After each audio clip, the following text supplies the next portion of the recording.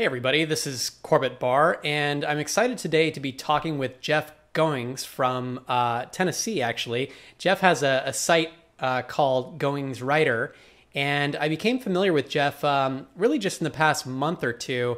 Um, I think it was maybe from a tweet. Uh, it seems like a lot of big name bloggers follow Jeff, and uh, someone, I think maybe Brian Clark, tweeted out something that Jeff had written and uh, I took a look, and immediately I was really uh, felt connected with his writing and was just really interested in what he had to say. He has a great way of writing. He has a great structure.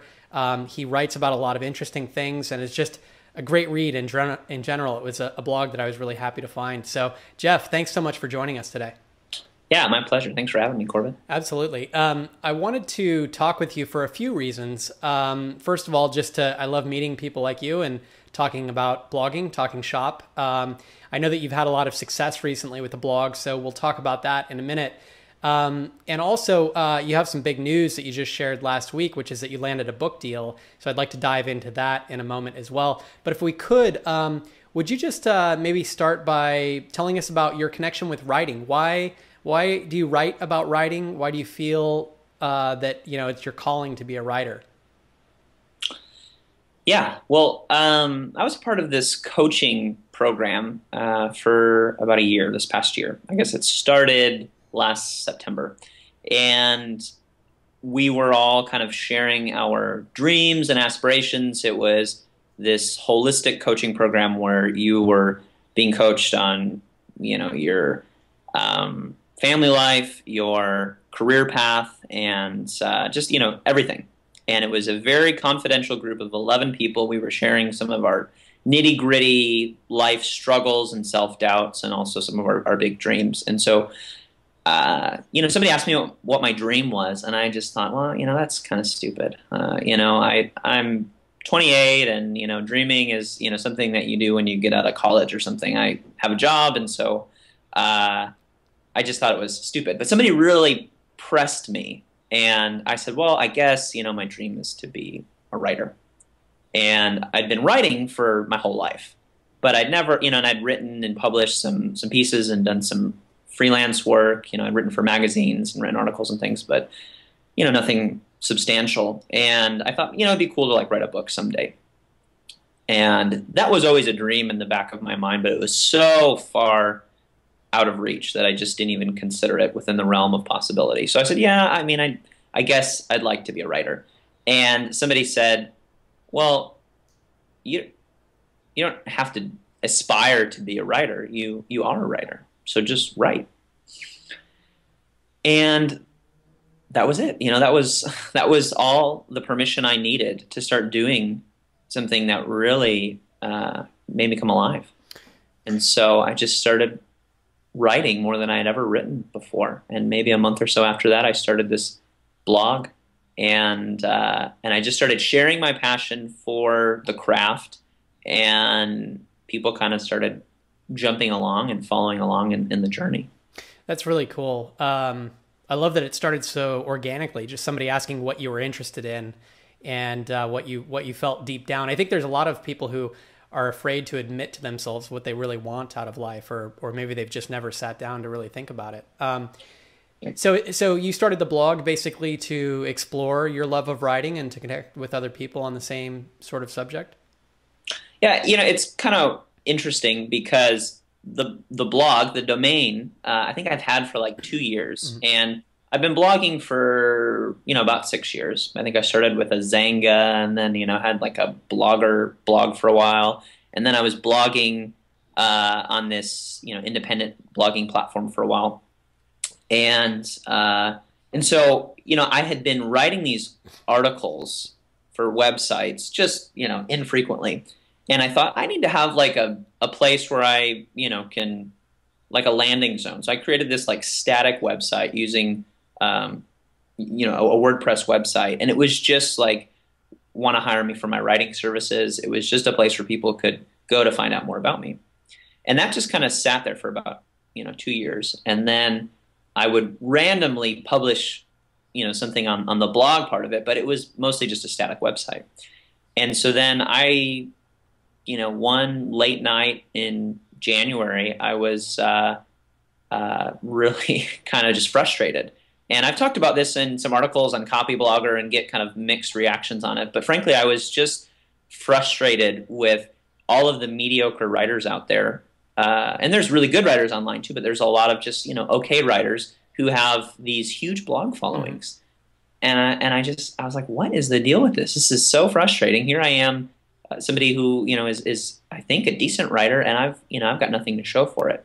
So, um, out of frustration and envy, which I do not think are the best motivators, but they're what got me going. W- late one night, I, you know, called one of my friends and I said, "Help me get this off the ground. I don't know how to do this. I don't know how to set up a, you know, a website like this." And you know, and he helped me, and uh, and I and, and I just started. But yeah, I mean, it it started. Really, I launched the website in February, and I just started blogging about writing. And I, I really didn't have any sort of intentions. I think in the back of my mind, I knew that authors needed some sort of platform, and it, you know, doing that with a blog is a great way to do it. And I saw people who had done it before, so in the back of my mind, I thought that was what I was going for. But I just started writing about writing because I was falling back in love with this thing that I had done my whole life and and I was and I was doing it, and I somebody had given me permission to do it just for the love of doing it, and so I felt compelled to do the same for others. Did you have any specific goals when you started the blog, other than just to sort of you know gain a following? Did you intend to try to get a book deal? um, and if not, you know, how have those goals sort of changed over the past you know ten months? Yeah, yeah. I mean, yeah, I, I wanted to get a book deal. Uh, did I have a goal or like a deadline? No. And, and, I thought it would take a while. I thought it would take years. Mm-hmm. And so, my biggest fear, and, and, anybody who's been blogging for a while on the same blog uh, can probably relate to this. My biggest fear was starting over. Mm. So, I had been blogging for four years on this blog that had a decent following, but I had no engagement, you know? So, I was getting like you know, I was crazy about my traffic, and so I was measuring every day. It was like between 200 to 400 unique visitors, um, which was fine. You know, it was it was good, and I had just broken my back over that blog. I thought to really make it what it was, and it took four years. And I, man, I don't want to start over. I don't want to start this over. And but it, I mean, it was I have learned so much through the process. I mean, I started that blog back in the day when you had blog rolls. and like I would email you because I liked your blog and I would say, hey, let's link to each other's blogs so that we can help boost each other's uh, Alexa scores. Right. And and that's that was like my mentality. And so I had to relearn how to blog when I when I started this this new thing. Uh, yeah, so I mean, I, I, I wanted to do that. I wanted to publish a book, but I just thought that was years down the line because I was starting over. Do you mind if I ask what what were you blogging about at the old blog, and um, what do you think was wrong with that approach? Well, um, yeah. So the old blog, I'd be happy to share the URL. Um, I work for a, a nonprofit organization, and uh, it's a it's a Christian mission organization. So we send churches and individuals on mission trips. So um, so every staff member gets a blog through this organization. And so this was just my staff blog. And so I would I would blog about everything. And that's what I think was wrong. I wrote about uh, my life and my family and my faith and what I ate for breakfast. You know, it was just I, like I think I had some focus. You know, there was like a general theme, but I battled the thing that I think a lot of bloggers do when they kind of wake up and, and you know and, and, force themselves to get to the keyboard. Like what am i going to blog about mm-hmm. today? You know? Is it going to be this random thought that i had about whatever? Because i mean the, the, options are so many. It was it was basically a personal blog. It's about me and whatever i think about whatever i want to talk about today.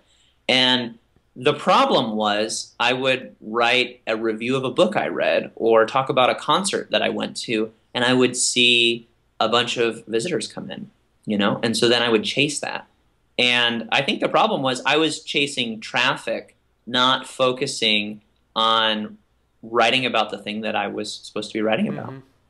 And, and so, I mean, the irony is I was writing about everything and I was, I was actually really concerned about traffic. And I plateaued, you know, at this, at this level. and I would chase anything that would bring in a few extra visitors. And I think that was actually undermining the process of building a long term dedicated audience. And so the irony is, you know, starting this new blog, uh, all I wanted to do was get back to where I was with the old blog. If I if I did that, I thought I'll be fine, you know, in terms of traffic, subscribers, all of that. So I did that in like a month or 2 mm-hmm. And then pretty quickly I doubled the traffic and then quadrupled it. And so the irony is, you know, very quickly I did the thing that I had been working so hard to do with the other blog by limiting my options and focusing on, you know, a, a pretty uh, focused topic. Can you uh, can you do you think you could distill the breakthrough that you made that that allowed you to do so well in the first month and um, and to and then ultimately to grow your traffic much bigger than it was before and um, also to connect with your audience so well because um, I noticed that you get a ton of comments and really seem to have a really engaged audience. So what was the what was the fundamental thing that you changed about this new blog that allowed you to grow so quickly? I think I did two things, or, I mean, rather, two things happened. Uh, one was I start. I, I focused. You know, I, I, focused on one topic, and I've talked about this before in, in you know different. Um, I think I talked about this in like a guest post at, at ProBlogger or something. But I I thought I was pretty good, and you know I talked about all these mediocre writers and how I was better than them and I was going to beat them at their own game. And I realized in the process that I wasn't as good as I thought I was, and I realized that I was taking all of these lessons that I had learned from freelance writing and college English courses and trying to inject them into the blogosphere instead of realizing and respecting that blogging is an art form in itself, and I had to relearn how to write for this new medium. So I mean, I I learned how to blog, you know, this year. Not I mean, I've been doing it for 6 years and I really learned how to do it this year. So I I respected the medium for what it was and I became a student of of, you know, everything that Copyblogger puts out and, and a lot of people that contribute to their site. I just started studying all of these people who had done it, you know, Chris Brogan and Leo Babauta. And I, am like, how did they build their audiences? What did they do that was unique to them? And, and how could I learn from them? And in doing that, I people started to show up and I started to take it more seriously. Mm-hmm. And so instead of writing a 20 minute article, I started writing two hour articles, you know, which was which required some sacrifice on my part. But I didn't just start rushing to get content out, you know, the day of. I started writing ahead and I started really taking it more seriously.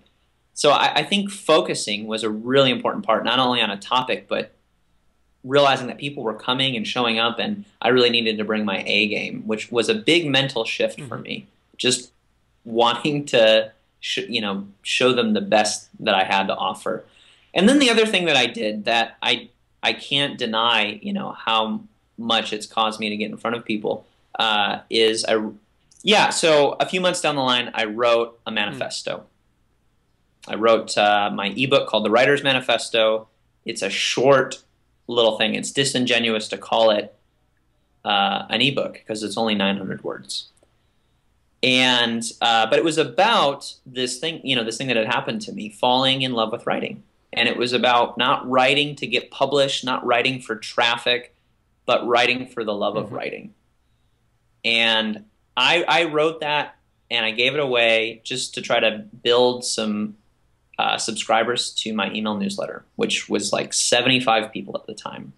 And so I wrote it, I sent it out to some people that I thought it would resonate with, and a few people endorsed it. Uh, eventually, I sent it to Seth Godin, and, and he endorsed it. Um, and within a week, my newsletter list went from 75 to 1,000 people. And I, that was a big breakthrough for me. So that was a few months down the line. That wasn't right at the beginning. Uh, but, and I didn't, I don't know that I did it intentionally. I just wrote something and I wanted to, you know, I, I knew that writing an ebook was a great way to generate subscribers. And so I, I did that and I had this thing that I had written, and I just kind of threw it together and got some feedback and tried to make it as good as I could. But then I put it out there, and in doing that, looking back now, I realize I, I created this manifesto for my mm-hmm. tribe. And it really is what I'm about about writing not for acclaim or accolades, but really, truly doing anything primarily because you love it. And then the paradox is you'll get rewarded for it. So you don't do it for the reward, but the paradox is if you do something because you love it, people are going to love you for that. They're going to support you. They're going to surround you, and they're going to want to help you succeed.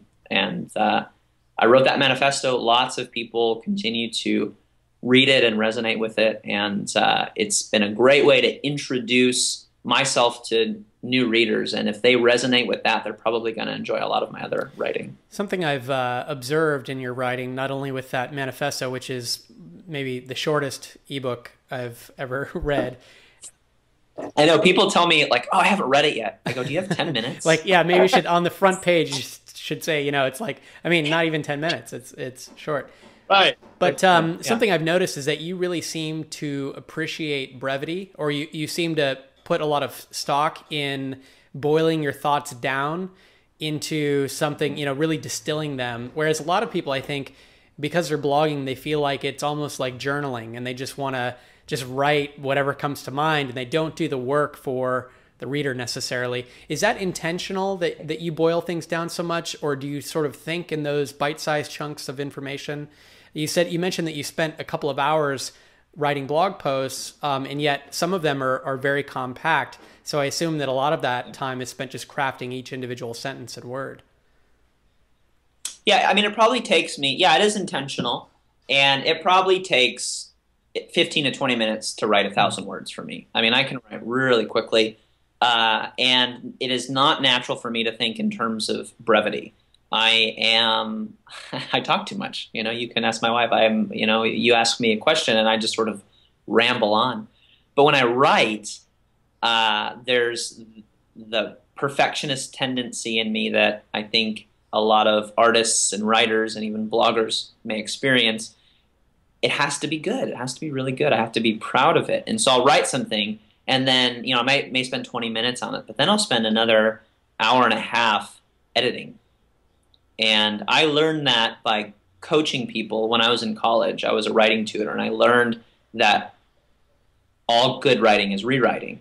You know, I mean, every draft, every first draft mm. is terrible.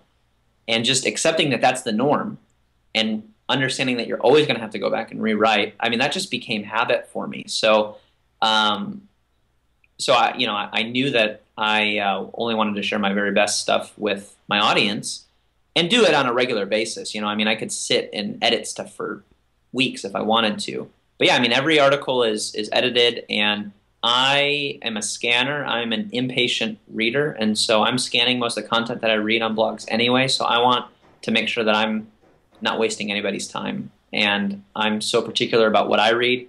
I don't want a lot of fluff. I want to um, I want to be moved, and so I I write towards that end. I write towards you know creating something that I think I would want to read. So you mentioned, uh, or actually we mentioned at the opening um, that you had some really exciting news. I believe it was last week, which is that you signed a book deal and um, that it came about in sort of an unusual way. I think most people spend uh, weeks or months or years putting proposals together and shopping them around and hoping for some publisher to bite. Um, but your experience was a little different. Can you talk about that?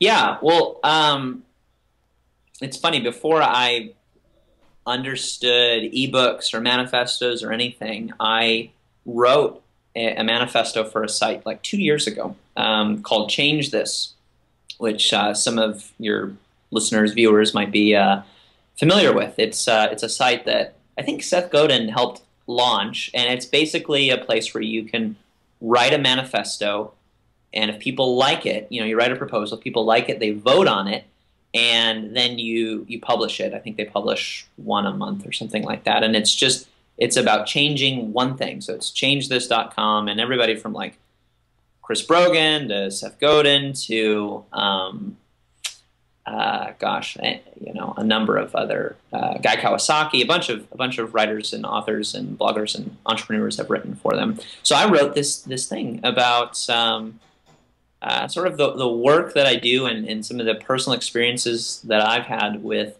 uh, poverty and humanitarian work and just finding your life's work. And, and, I, and so I wrote this manifesto, and it just, you know, I wrote it and shared it and, you know, forgot about it. And so this publisher found this ebook, uh, and they contacted me after they found out about my blog. And so it, the manifesto in and of itself didn't garner the attention or you know interest of the uh, of the publisher. The blog did, but then when they were looking at my blog, they saw that I'd written this manifesto years ago, and they read it and they liked it and they emailed me and they said, "Have you thought about turning this mm. into a book?" And I said, "No, I haven't thought about that. I forgot that I wrote that." You know, and uh, and they said, "Well, we love you know your your, the audience that you're building, and we love your voice, and we love this manifesto. We'd love to talk with you about it. So, you know, we spent a month or two kind of talking about what that would look like, and they helped me flesh out the idea. So I never wrote a book proposal. I never like intentionally went out and got an agent. I mean, it all just sort of came to me because I had spent time building an audience and I had written something that was of interest and they wanted to partner with younger people who had a voice that would um, reach people my age, and so uh, they wanted to partner with me to do that. And um, and so in the process, I'm like, oh, I better get an agent to make sure I'm represented. And I had a friend who's an agent. I called him and he said, I'd love to do that. And so I mean, it really just kind of came together um, pretty quickly. And uh, apparently, you know, that is not the norm. So I don't want to uh, you know build any sort of false expectations in, in people. But um, th- but I've heard other people doing it too. So it's by no means like the mm-hmm. rarest thing to happen. And you know, I mean, if you build some sort of platform that generates the attention of an audience, publishers, you know, if you're interested in working with any sort of traditional publisher, they're really interested in partnering with people who understand authors who understand marketing. Sorry, somebody's just banging on a car outside. I don't know if you can hear that, but I'll cut that out. Anyway, um, awesome. Well, congratulations on the book deal because I think as a writer that, you know, I know that the world is changing, that a lot of people are talking about publishing just electronically or just blogging and not worrying about getting a book deal. But I think still, uh, for those of us have, that have held on to a book and read it and loved it, it's still an honor to have a published yeah. book. And, and I think it can lead to a whole lot of interesting opportunities and you're just going to learn from the process and there's no reason not to do it um, unless you're just trying to make a buck or something but i think you're doing this for for other reasons so that's that's pretty awesome um, would you mind yeah. if we uh, talk a little bit about numbers um, you shared an email yeah. with me that was pretty interesting before we scheduled this interview about how your traffic has just grown so incredibly over the past nine months and you know I, I want to make sure that people understand that um, this isn't an overnight success story because you've been crafting your you know your ability to write for your whole life it sounds like. You were blogging before and sometimes it just takes putting the pieces together and looking at things in a different way to really start growing um, almost overnight in in this new incarnation. Um, so congratulations on that as well. But tell us sort of what has happened this year and, and if you could just maybe share the most recent month. Tell us about how many visitors or something that you have, just so we have a sense. Yeah, yeah, happy to do that. I may actually try to pull up my analytics while we're talking. um, like I said, uh, I, all I wanted to do was catch up to my old blog, and so my old blog was getting about 200 to 400 unique visitors uh, per day uh, which is really decent traffic. And I was told, you know, based on blogs that I had been reading, that that was enough to start monetizing. And, you know, I'd heard all these things, but I had like, you know, one or two mm-hmm. comments for repost. And I just didn't feel like I was making a, a difference. So I didn't care about the traffic. I wanted to connect with people. Um, yeah, so, uh, and, I, and I had built it up to a, a page rank of three. Um, and that had taken four years. So I was really scared to to start over.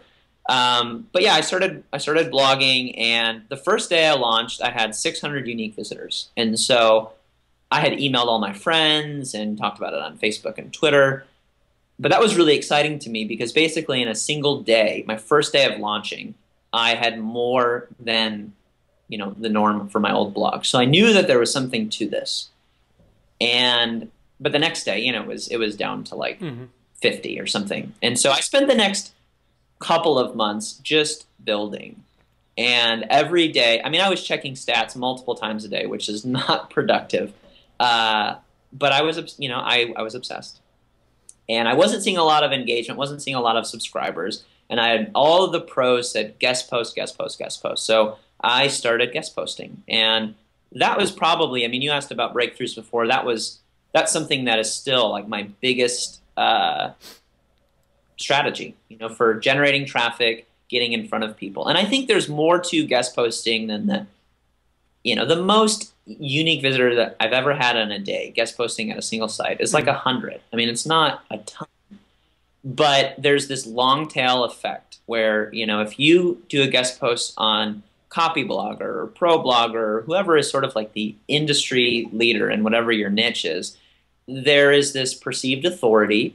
People begin to start recognizing your name, and um, you know, and those articles, you know, are usually pretty highly indexed on on search engines, and and people can uh, find them, and and usually if there's a, a link there, you know, that's going to lead to long term subscribers, and it's going to you know build your your page rank. So um, yeah, so I mean, the first big uh, guest post that I got, I think, was with ProBlogger, and you know I got probably uh, I, I, got like a, hundred to 150 new subscribers um, pretty quickly as a result of that, and it had taken me a month or two to, to, to get that many subscribers before, and so I go, wow, this there's something to this. Uh, so you know, like I said, I um, you know I really started to turn a new leaf maybe May or, or June when I released my uh, my ebook. Got a thousand email subscribers in a week, and and then I, I just I really started to go after lots of aggressive guest posting. I was able to connect with Sonia Simone on Twitter and and I said, hey, I'd love to write a guest post for Copyblogger. I had writ I had like pitched them um, via email, and they had sent me the you know, sort of template um, email that says, you know, we're not accepting any guest posts right now. But I, I was able to connect with Sonia. I sent this email. I followed up multiple times. They were interested, and then eventually published that piece. And then I've, I think I've done one other one since then, and written multiple times for ProBlogger and lots of other friends and and you know blogs on, on the web that talk about writing or blogging or, or social media. And uh, yeah, I mean, my last month, I'm going to pull it up uh, because uh, it was probably my biggest month to date in terms of traffic. It was, uh, I think it was about 200,000 um, visits. I'm going to see how many of those are unique visitors. So, I mean, you know, I the past couple of months have really mm-hmm. compounded a lot. You know, I was I was probably at a thousand visitors a day uh, for uh, you know a couple of months. Um, I was in that that ballpark, and then recently it's it's been as high as had a couple of really big spikes that I think are aberrations. You know, which I'll talk a little bit more about. But I mean, I've had days where I've had you know 20, 30,000 unique visitors in a day, which is not the norm. But I had a couple of posts that essentially went viral. Um, one was this post about uh, uh, what was it? Three um, reasons to travel when you're young. Like, well, th- that one is yeah. That that one went viral uh, in, in an organic way, uh, which has had a lot of fruit attached to it. The one before that was like book writing ideas for uh-huh. Uh, young people or something, and um, book I- what is it? Book ideas for young people, and I I researched that keyword. I was I was just looking at uh, Google, you know, I mean, I, I, read a little bit about keyword research. I don't, I don't do like the SEO stuff a ton, but I'd read a bunch about keyword research, and I was looking at. I mean, if you Google keyword, you'll find this this keyword estimator that you can use to see what keywords you should be focusing on for your website. And I saw this term, book ideas for young people, and I thought, well, I'm, I'm a young person. I want to write a book. I'll just do like the the the list post. You know, I'll just do a quick list. And and so I did that, and somebody somebody maybe me maybe I did it because I do this on occasion. I stum I use StumbleUpon to vote for one of my posts, and I shared it on StumbleUpon, and it got you know tens of thousands of stumbles and and votes, and that was um, like not that great. Like that that traffic didn't convert to subscribers really. Um, people found it. It continues to be you know a, traffic generator for the site, and um, you know that page now ranks pretty highly when you Google book ideas or book ideas for young people. But um, you know, so that was that was fine. I was like, okay, this isn't you know this is a big aberration. This is not going to be something that's really going to convert because if anybody has ever used Stumble Upon, you know, mm-hmm. it's just like you're just clicking this button and hit a website. You go, okay, I don't care about this. So it's high bounce rate. You're just you're just going through the traffic. Um, but then I wrote this article uh, actually while I was traveling over the summer about why you should why you should travel, why young people should travel. And I am a big proponent of of traveling the world, seeing the world if you can. And um, it was based on a conversation that I had with this uh, young woman who was um, about to was deciding whether or not she wanted to go to graduate school or travel the world. And I was like, dude, travel.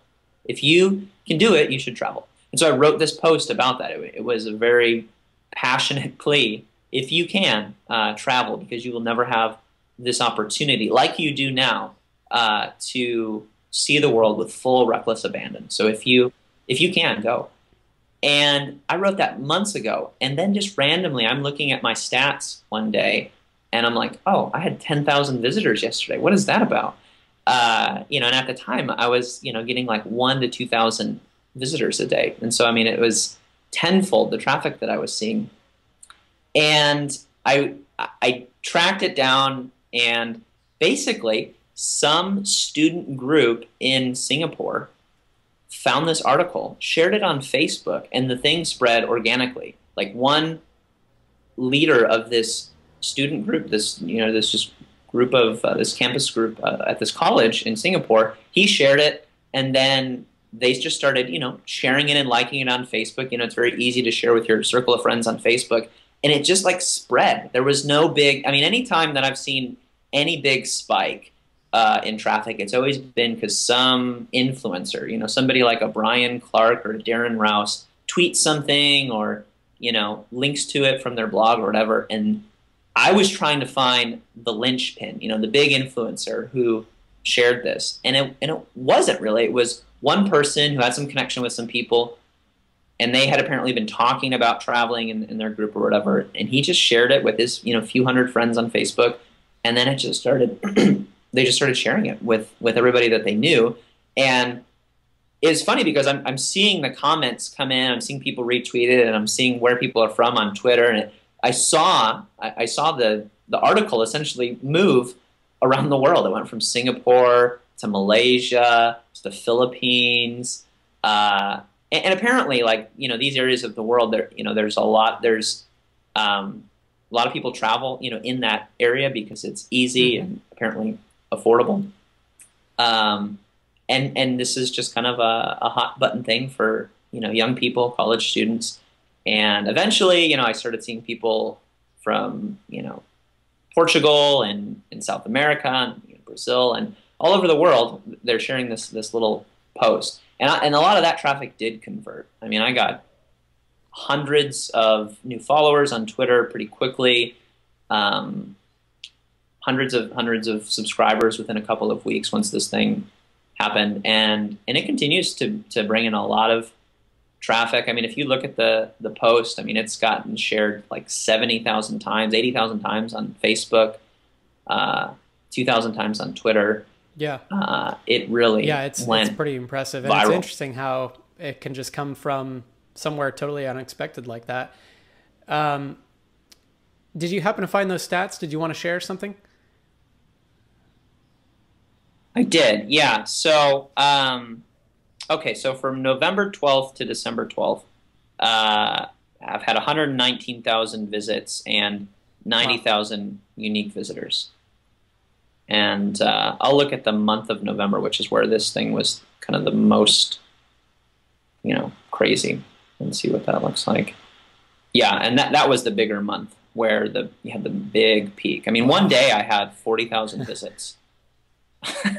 so that that month, the month of November was two hundred four thousand visits That's and one hundred sixty two unique visitors. That's really and, cool.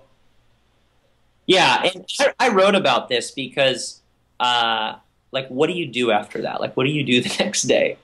Uh, or then, I mean, because really, this all happened over the course of a week, and w- what do you do after that? And the reality was, a lot of the people went away. You know, I didn't convert all 162 mm-hmm. unique visitors to subscribers, uh, but but a lot of them did hang around, and it's been really cool to continue to connect with those people.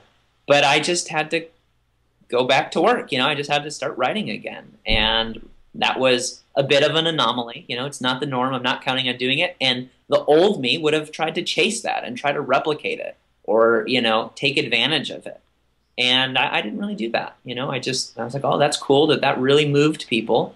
But um, i've got to just you know such a cool story. Um, and you've shared a ton of really great advice. I'm wondering if if you were talking to someone who was maybe really struggling with a blog that they had had for a while sort of like you were in the beginning or somebody who's just starting out and doesn't really understand uh, what blogging is all about or what it takes necessarily to build an audience. Could you just give us a few points of advice that you would give to someone like that um, to really help them make things take off? Well, I, th- I think the, the most important thing that I've learned is mm-hmm. serving other people, adding value to their lives first.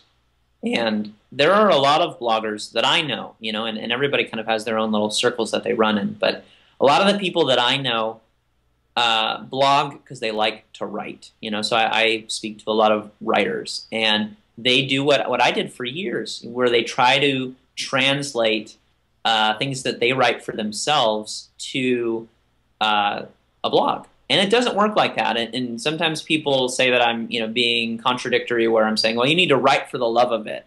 And then I'm saying, well, you need to serve your audience and you need to write for your audience. And I think both of those are true.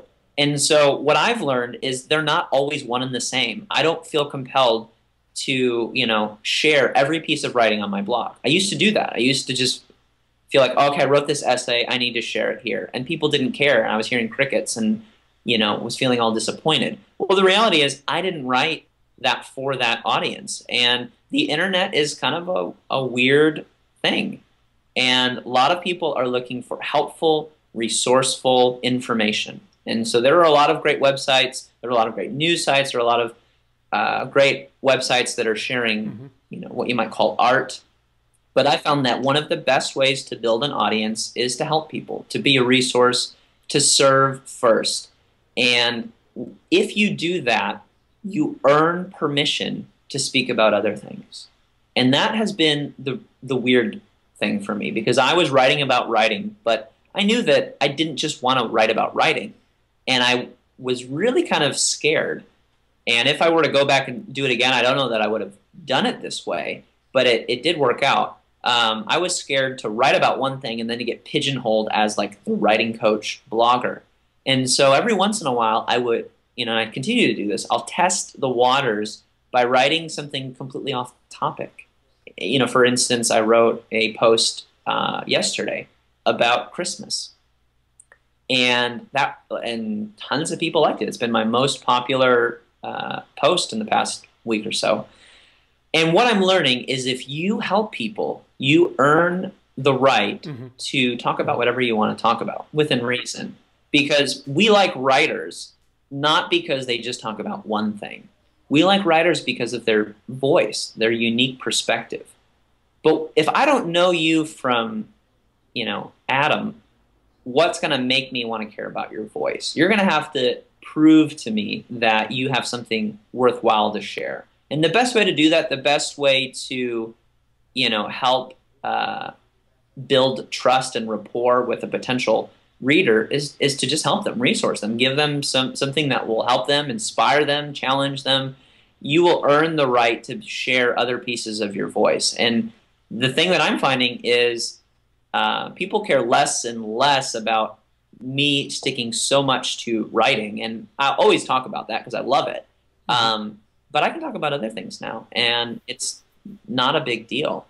And I mean, if you look at any of the big bloggers that we, you know, a lot of us, a lot of your readers would probably admire, it, eh, they're doing that too. You know, I, I don't go to Seth Godin's blog and go, oh, shucks, he didn't talk about marketing today. You know, he, he can talk about politics or the economy or uh, food service. He can talk about whatever he wants because he's done that over time. He's diversified what he talks about. And I just love his voice. He has the most unique perspective on the world that I will listen to whatever he has to say because he has helped me so much through generosity, giving away all kinds of free, helpful, interesting information that he can talk about whatever he wants, and I'm paying attention because it's a great I want to hear what he has to um, say.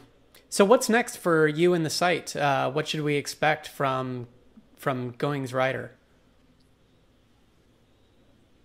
Well, I am gonna be launching something soon. So uh, I don't know what it is, and I'm looking to my audience to help me with that. But I would like to create maybe a course or a coaching program. I'd like to offer an opportunity for my readers to go to the next level in their writing. So something more than, you know, a uh, if if people have needs that you know a daily post or email newsletter can't satisfy, that's what I'm interested in. And so I've been did a survey last week and, and got a ton of responses and still filtering through those.